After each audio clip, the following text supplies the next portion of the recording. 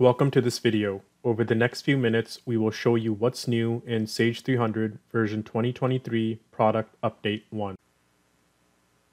This latest version presents additional functionalities and superior user experience through general improvements and Sage 300 Cloud web screens improvements.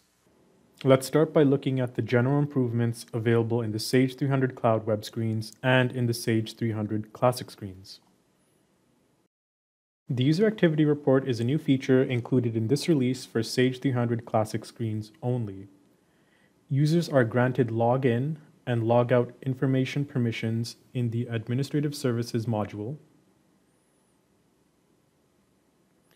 This report prints a log of user activities for the company database. And it is important to note that this feature is only available to the Sage 300 administrator user. Sage 300 Desktop now supports three types of 1099 forms interest income form, miscellaneous information form, and the non employee compensation form. You will now be required to file via Aatrix integration within Sage 300. Note that the AP electronic filing screen is no longer available in AP periodic processing. In the AP vendor reports, we have repurposed print 1096, 1099 forms to 1099 filing. It is important to note that this is a paid feature, so the customer will be onboarding and subscribing with Aatrix, which is outside of Sage 300. Now let's have a look at web screens improvements.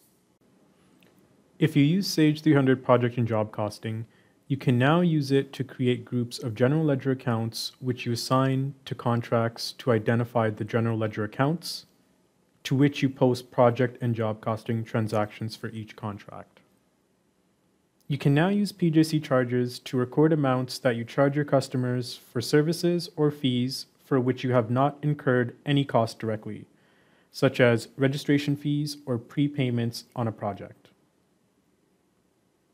If you use retainage accounting, use this screen to enter opening retainage balances for contracts you are transferring to Sage 300 project and job costing from another job costing system.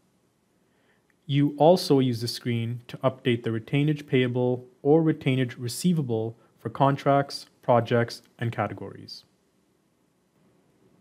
If you have a project for which you've recorded transactions, and your customer approves changes to estimates for the project, use the PJC Revise Estimates screen to enter the changes. In Inventory Control, you can now set up bills of material if you plan to assemble or repackage inventory items to create a supply of master items to sell. You can use the Assemblies Disassembly screen to enter and post assemblies and disassemblies of master items from component items.